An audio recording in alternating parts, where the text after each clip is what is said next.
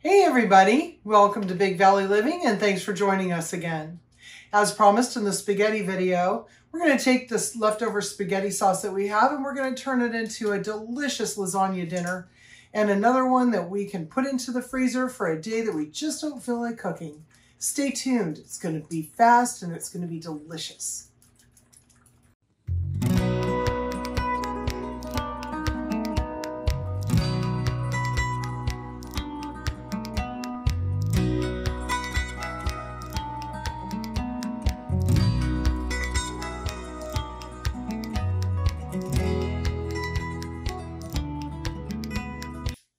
We are super excited tonight to share with you our lasagna recipe.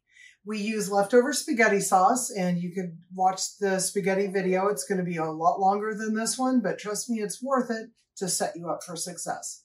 So I made the spaghetti last night and we put the sauce in the refrigerator overnight so that today everything that we're going to handle is going to be cool. I've also cooked uh, lasagna noodles according to the directions on the box. I do use the old fashioned noodles that boil first and then go in. They make uh, oven ready noodles now that you are welcome to use. I have tried them once and I wasn't a fan, and I think that's just because I'm used to the old fashioned way.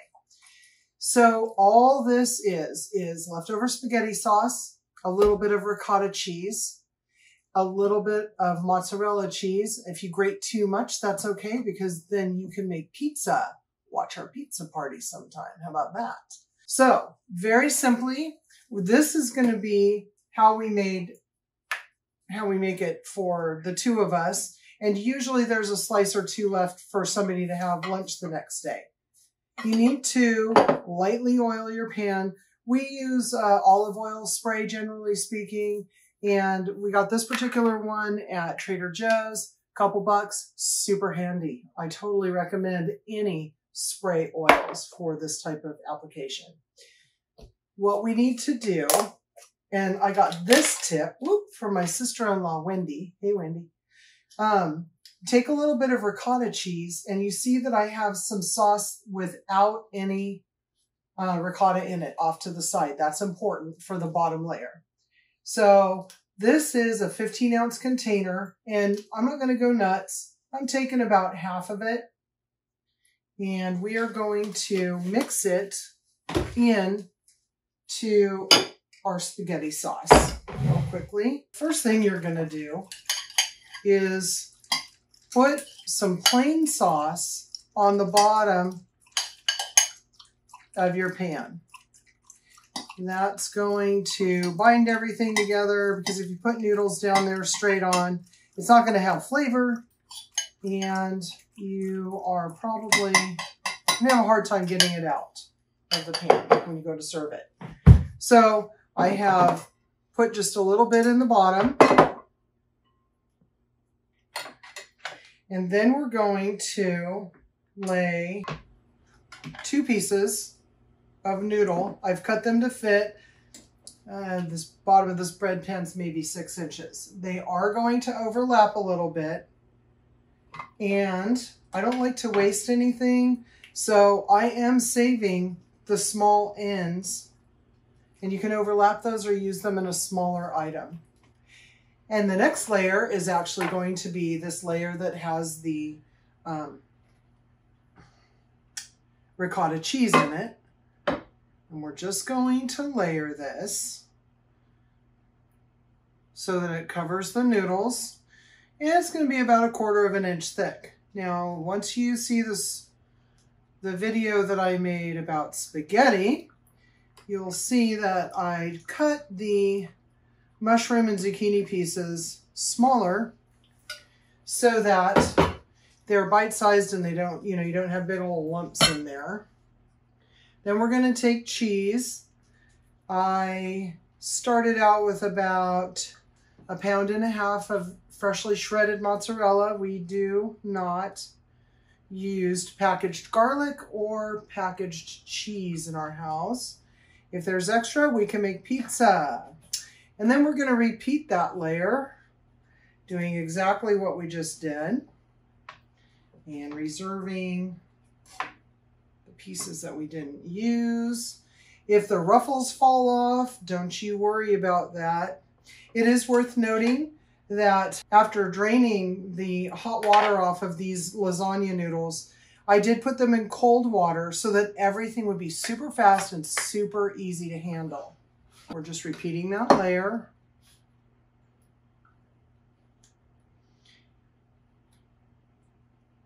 So these little pans are really good if you know somebody who is is not feeling well or if you're a single person and you don't have a huge appetite, you could put a few of these away. They're like $3.50 at the local hardware store or um, maybe Target or something. And you could put several of these away in the freezer and just pull them out when you're ready. Put them in the fridge overnight the night before if you want, and then put it in the oven at 350 for about an hour and they heat up beautifully. So let's keep on moving here. We're gonna, we've already put our next layer of the ricotta and sauce mixture in. And now I'm gonna sprinkle some more cheese on top. You know, you might be tempted to really cheese it up, but I have done that before. And yes, Michelle, there is such a thing as too much cheese.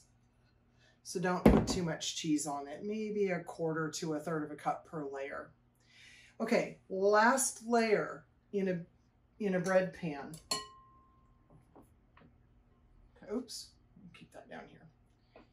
And we'll be ready to either put this in the oven or to prepare it for the freezer.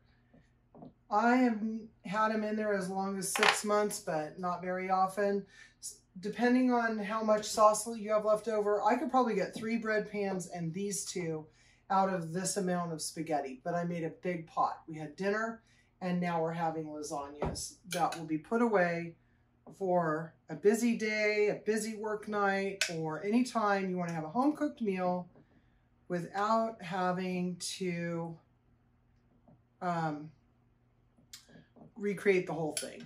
Okay, so I have placed the last layer of sauce on. I'm kind of packing it down a little bit to make sure there aren't a bunch of air bubbles. Put a little bit of cheese on top. If you're going to freeze this, uh, you could leave the cheese off when you package it for the freezer, but uh, it hasn't ever degraded by doing this. So I just go ahead and do it so that I don't have to worry about going out to the store or remembering to get cheese. And that, my friends, is a very easy and economical and nutritious spaghetti um, lasagna. If this is going straight into the oven, cover it with some foil, spray just a little bit of that olive oil spray on top, lay it on top, cover it, oven for 350 off of the counter for about one hour. You'll see the bubbles coming up. Take it out, let it rest for about 20 to 30 minutes so that everything sets up and it makes it easier to cut without it falling all over your plate. If it's going into the freezer, what you're gonna do is put plastic wrap over the top. I press it down, then put foil over it, label it any way you want if uh, you have a lot of stuff in your freezer so you know what date you put it in and what it is and then put it in your freezer. And again, I know it's good up to six months. Okay, I can't promise anything after that. Now we're going to prepare the single serving lasagnas. This is where the pieces that we cut off earlier can come in handy. But if you make larger pieces, you can still use them and just overlap them. Again, there's really no need for any kind of a waste in this. You're going to be cutting this into slices anyway. So just like the larger lasagnas. While we're at it, we might as well do a second one. So there we go. Good. Oops. This just takes a few little tablespoons. And again, this is a very welcome gift. I used to take these to my mom if she wasn't able to get out of the house. And she could have a nice home cooked meal whenever she felt like it even if she was up in the middle of the night and decided that that's when eating dinner would work best for her. I know the older we get, our sleeping and eating habits change quite a bit. So this again is a very welcome gift for somebody who doesn't get out as much as they used to. Oops. So I just made a nice little layer, just like the large ones. This only ends up being like a little two layer lasagna. And we sprinkle some cheese. Ooh, boy. Settle down, Sparky. Okay. You just sprinkle a little cheese on that. And we're going to use these smaller pieces again. Again, this is just two little layers. And I'm going to cut that a little bit to make sure that they fit nicely because we always want our food to look as pretty as it tastes delicious. And this is just a nice, again, two layer, simple, easy meal for a single person. You, what we're gonna do is put plastic on these and we're gonna put foil over the top, label them, put them in the freezer. So the cooking instructions for both of these would be to either put them in the refrigerator the night before from the freezer so that they can partially thaw. Don't forget to take the foil off, remove the plastic, put the foil back on, 350 oven for approximately an hour to an hour and a half. You can also take them straight out of the freezer, remove that plastic, put the foil back on, and I started at about 250 straight out of the freezer and just let the oven come up with the pan, especially the glass, and then turn it up to 350 after about 45 minutes. And that way you don't get any thermal shock to the, to the glass and uh, cook it off for about another hour and a half or so. If you have an instant read thermometer, just make sure that it, uh, you can actually see it boiling on the side of the glass, to be honest with you. And on these, just with an instant read, make sure that it's about 150 degrees on the inside. Take them out of the oven, let them sit for 20 to 30 minutes to uh, come back together again, and you're gonna have yourself the most delicious homemade lasagna. After 50 minutes, we were able to pull the other lasagna that we made for dinner out of the oven. It was a 350 oven. And on top of tonight's dinner, we also had a nice spaghetti dinner last night. We have two bread pans full of lasagna that will be ready. They'll be in the freezer and two single serving pans of lasagna as well. So for under $30, we have one, two, three, four, five, uh, six meals that we got. That's $5 a meal and you can't even eat at McDonald's for that anymore.